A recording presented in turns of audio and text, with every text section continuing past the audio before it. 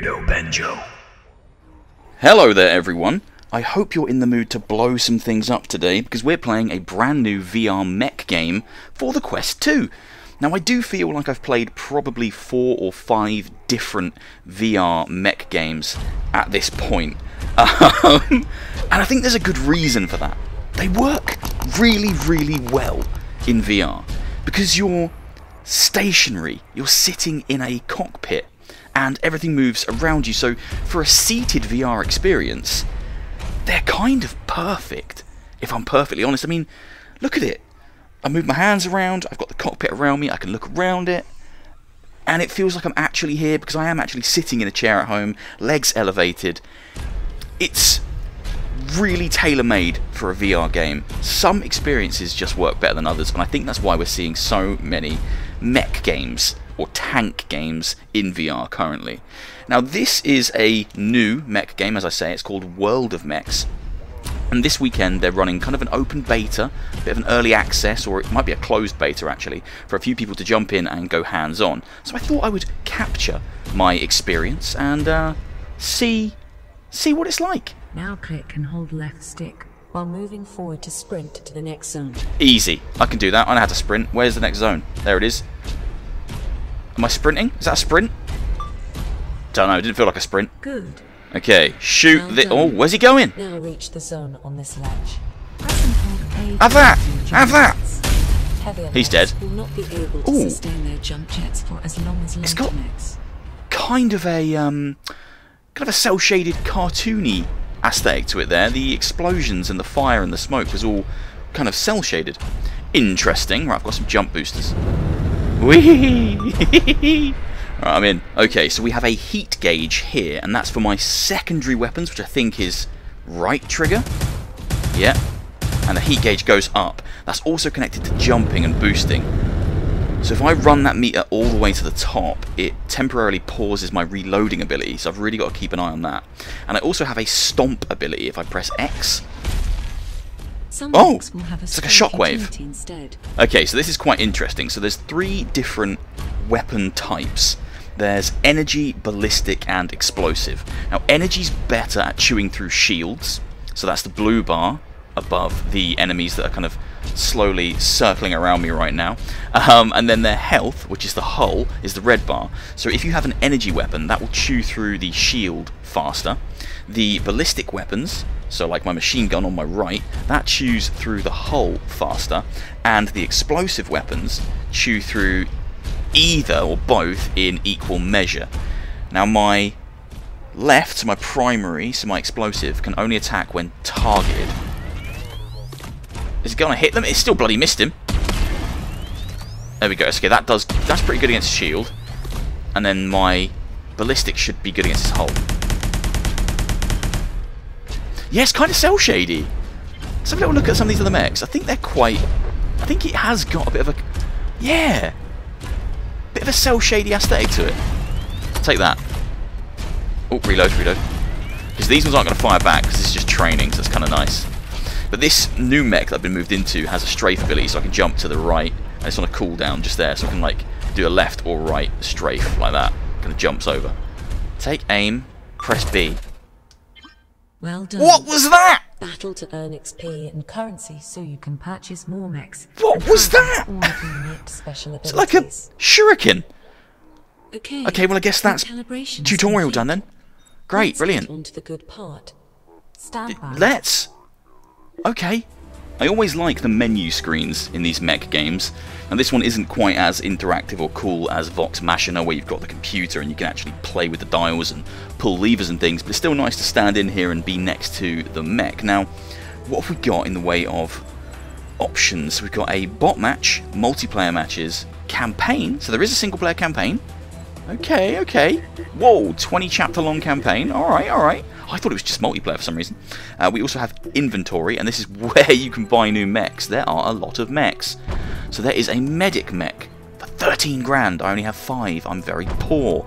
Scout mech. I like that one. Looks a bit kind of ninja-y. Don't know why. Bit samurai-ish. Uh, a striker. That's a bit of a chunky one. That looks like something out of Robocop. Uh, Vanguard. The Trooper, which I have, very chunky. the Sniper, Brawler. Oh, I like that. And Juggernaut. Oh my god, that one's huge! That one is huge! How do I unlock that? Oh, bugger. Right, Trooper's is what I've got currently. I can't afford anything else. Now I can upgrade different ones, get different kind of um, decals and colours by getting more XP. My XP is currently 740, so I've got a long way to go to get any new decals. And I think I can customise my abilities as well, so I can...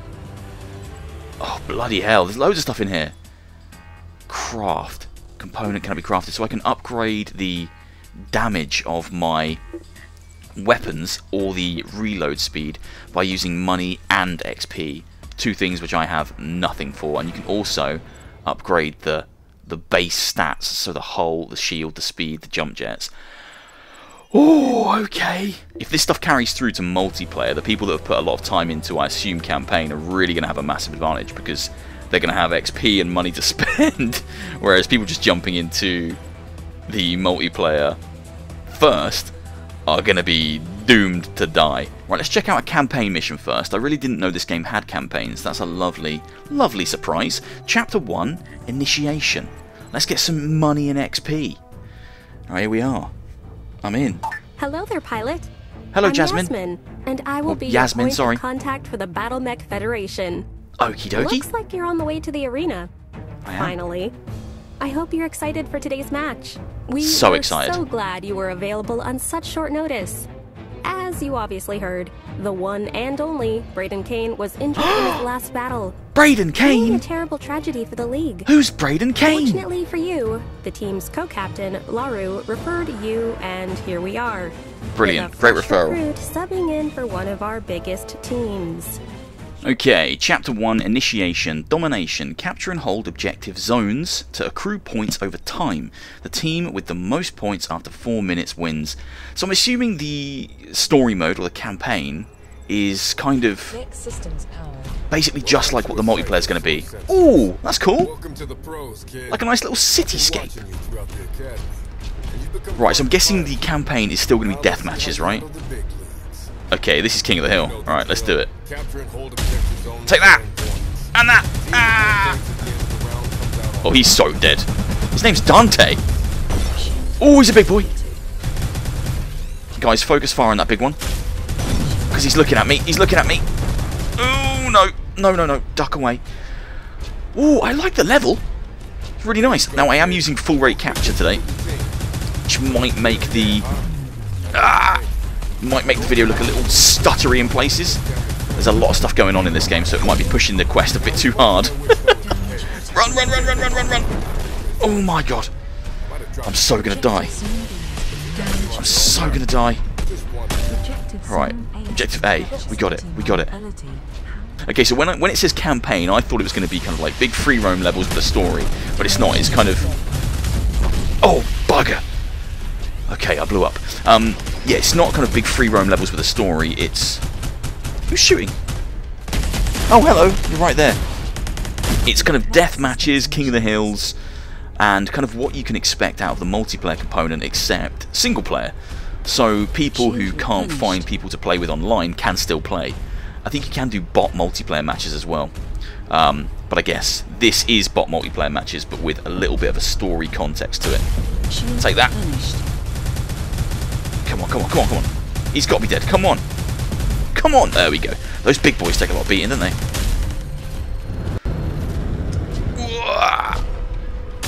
I like that that one's called Dante. And that one's called Brant. Come on. Alright, what's my special ability? Stomp. Of all the special abilities, that one's a bit of a rubbish one. Okay, we've got two minutes to get the most points on domination. Nice and easy. Oh! Who was that? Was it you? You shit. At least you're dead now. The game does have kind of um, a slight, a slightly cel-shaded aesthetic to it. It's not over the top. It's not super cartoony. But yeah, a little bit cel-shaded. You can really see it in the explosions um, and the effects on shots like landing. Right, proximity mine. How do I launch it? There. He's gonna walk into it. Take that, you fool. okay. So this mech's ability is a proximity mine. That's not the most exciting one. Um, oh, dead again. Dead again. Oh, we won. Okay, I won while I was dead. That's fine as long as we won. That's all that really matters. Continue, continue, continue. $26,000 and 2,795 XP. So we can buy something. So I could buy a new mech. I could buy a striker if I wanted to. Or I can't afford a Vanguard. That's too much. Let's buy a striker. Yes! Look at that thing. Yeah, like look at that. So this thing's got a light machine gun and light missiles. Um, and then we can customize that as well as we, if we want to. But again, I can't afford anything right now, so I can't do it. But it's a new, it's a new mech, and that's cool. Uh, special delivery. Protect the supply tank while it is transported to the landing pad. Transport time 3 minutes. Okay, that's a bit different. It's kind of like an Overwatch payload mission. Same, same level. Hell? Oh my god. We are just charging into battle right now. Oh my god. Okay. My explosives on my left can only fire once they've got a target locked. Like this. There we go, there we go. There we go, and again. Take him down, take him down. Come on, he's done. Right, where's the target? Where's the payload? There's the payload. Right, we've got to look after that. Oi, you! Bugger off! I hope there are some more maps. Um. Firestorm, Billy. Oh, there's that bloody shuriken thing. Oh, my shield's down, my shield's down. I'm going, I'm going, I'm going. Oh, I knew that was happening. Oh, I knew that was happening. Okay. Well, there's the payload. Off it goes. Yeah, I really do hope there's more maps than just this one. Um, because although I like this little city arena, I'm sure it will quite quickly get old if it's the only map. Oh, I think we're almost there. I think we're almost there. Where is the payload? Right, it's, it's, oh, the payload's almost destroyed. Get rid of him! Oh! No, bug off you! Stop, try, stop, stop! Ah! No, no, no! No! The payload's so close! It's so close!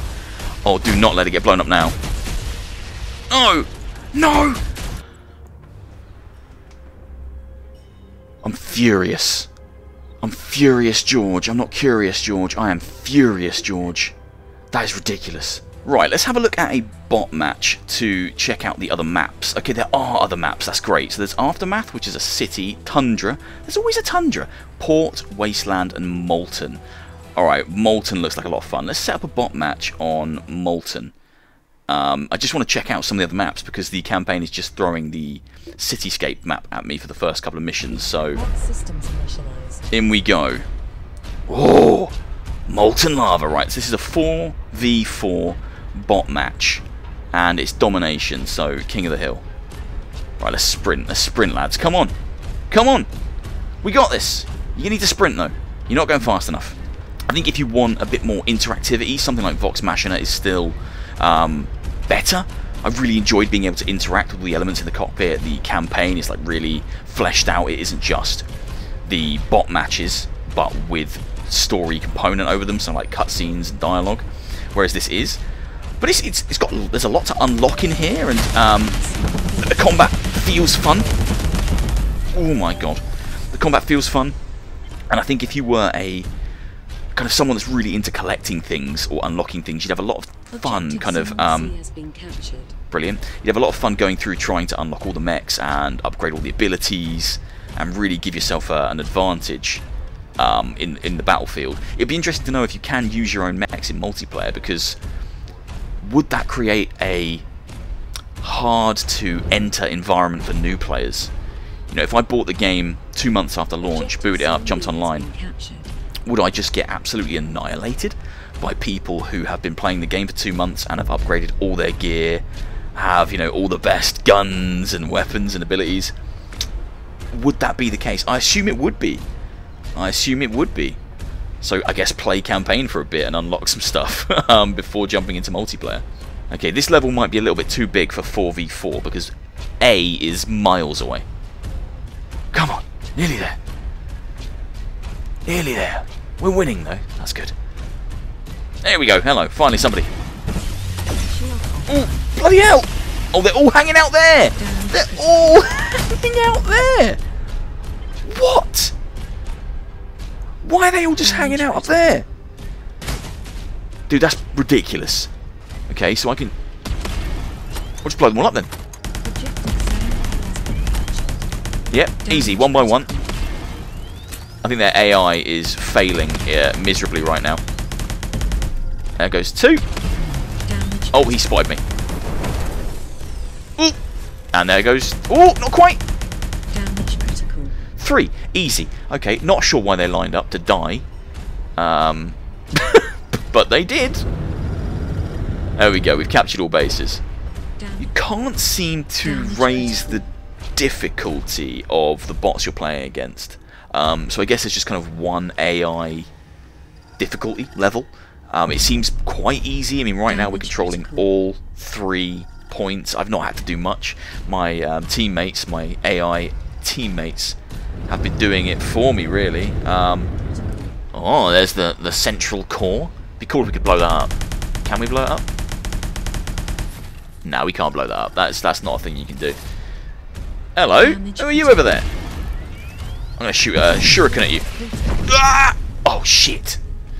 I died, but I think he died too. I take solace in that fact. As long as he's dead as well, that's absolutely fine.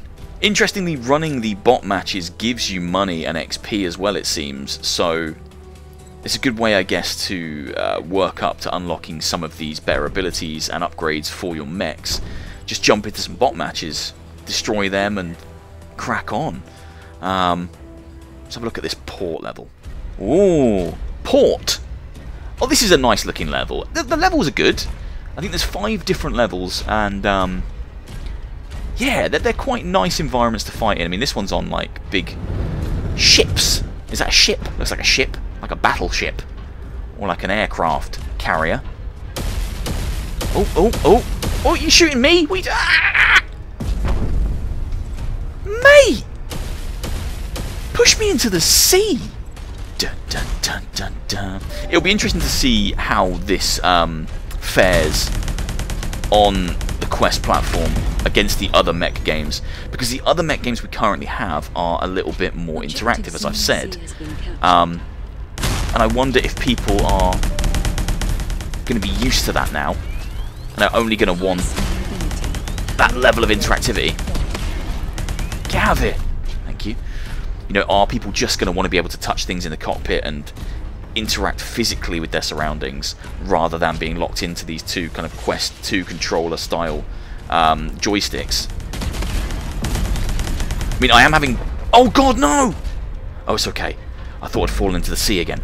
I mean, I am having fun, but I do prefer to interact with things. I do prefer the setup of something like Vox Machinae. Woo! Oh, doomed. I'm doomed. Where did that shuriken go? Nowhere near where I wanted to go. Okay, he's gone. Ooh, no, dead. I knew I was dead. I knew I was dead. See you later, George. You're dead. Uh, it would be kind of nice if the planes in this level and the cars in the other levels were like, oh, I've fallen down again. Um, were destructible. Like if you could actually blow them up. Because there's some there's some planes over here. Here we go. Look. And they're just window dressing. I can't actually do anything with them, which is a shame. Is there a mech next to me? Oh, there's two! Where did that go? Oh my god. Oh my god. Oh my god. Oh my god.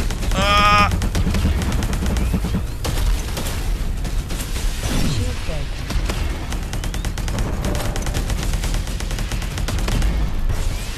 Take that, you shit! Whoa! So on this smaller map, I think the Molten map, the lava map, was far too big. On this small map, the AI are kind of really giving me a run for my money. They're actually, it's a much tighter match. Oh, couldn't quite. Oh, what are you doing here? No, no. Get in. Get in. There we go. Yeah, this is a much closer matchup. Um, the Molten map, I think, was a little bit too big. This is a much tighter, smaller, contained map. So it's creating a more Oh! What are you shooting at? It's creating a more interesting battle. Okay, let's try a multiplayer match. Are there any people playing this game online right now? We click play. Something's happening. No servers found. Okay.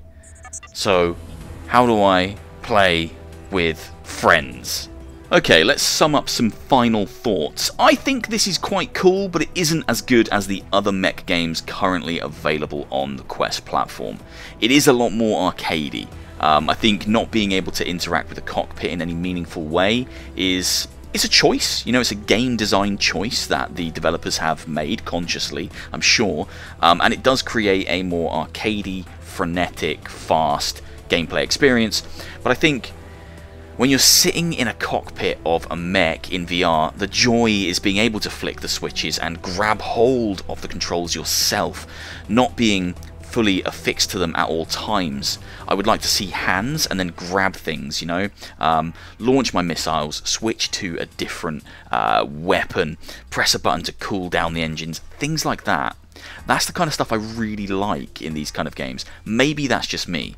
The positives here, I think, are the amount of customization, the amount of things that you can unlock. So there's a lot to work towards, you know, whether that's unlocking all the different mechs or all the different decals or all the different weapon and armor and health upgrades within each mech.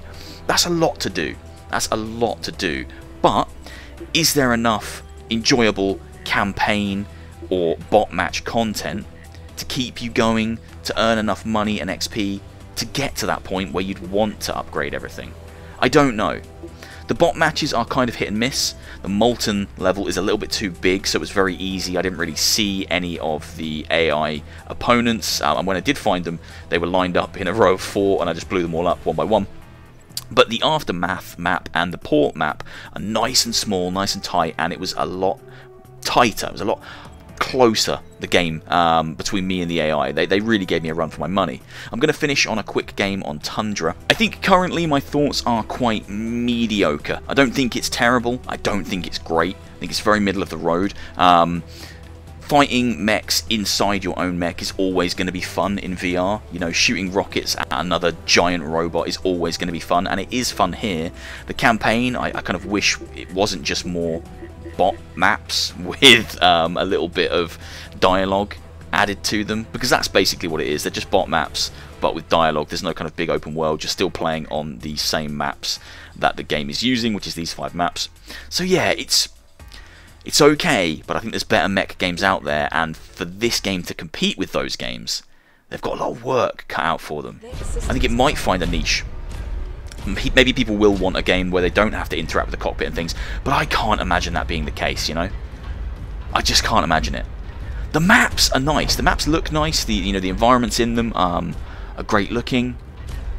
A little bit of variety. It's nice to see that in these mech games. Sometimes you only usually get like one deserty map and one kind of industrial map, and that's kind of it. But here we've got five different maps, and they are very different. Um, yeah, I, think it, it, has promise, but I do think it's going to struggle to compete with things like Vox Machinae, which feels far more fleshed out and far more interactive as a VR experience. I also can't seem to set up a private um, online game. I tried to play online, um, and it just told me there were no servers currently available. There was no one playing, so it didn't give me an option to set up a server. Um, so I'm not entirely sure at this stage how to play with friends, and it would be nice to play with friends and bots. Not sure if you can do that. Um, I might test that in a second before I before I sign off. But yeah, currently uh, it feels like Vox Machinae and I wish I could remember the name of it. The other mech game I've played um, on Quest are better um, because they do things in a more interactive and enjoyable way. You know, they do things that really lend to being in VR. You know, this feels like it could be a flat screen game because you're just using the controllers. You aren't really engaging with all the with all the great things that VR does. No. Oh, what a shot! I like that though. That was great. That shot was insane. Um, yeah, I am hitting some performance dips where I'm kind of noticing the frames kind of lurch, and that's that's a shame, especially when action gets really intense. It just got it just happened then twice. Um, So yeah, that's a shame as well. But I think the game's a long way out from release. At least I think it is. I think there's still time to fine-tune these things. I'm gonna die. Yeah, we knew that was gonna happen. We knew that was gonna happen. Yeah, I think there's still time to fine-tune these things. I think there's still time to make this um, something really fun.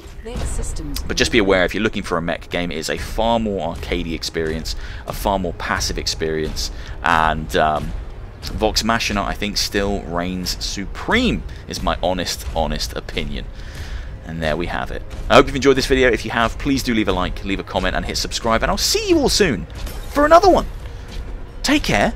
I'm going to go and blow someone up real quick. See if I can get, get one more cheeky killing before the end. Knowing me, I'll probably just die. Oh, here we go, here we go. We got one. We got one. He doesn't even want to fight me back. He stopped behind the building. He has given up on his life. Take care, everyone. See you later.